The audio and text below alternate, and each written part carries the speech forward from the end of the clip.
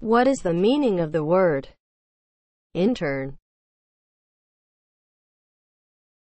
as a noun? An advanced student or graduate in medicine gaining supervised practical experience.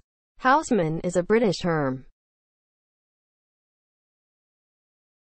As a verb. Deprive of freedom. Work as an intern. Examples of use.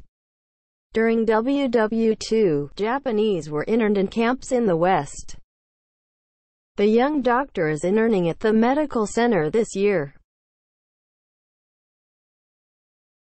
Intern is spelled I N T E R N.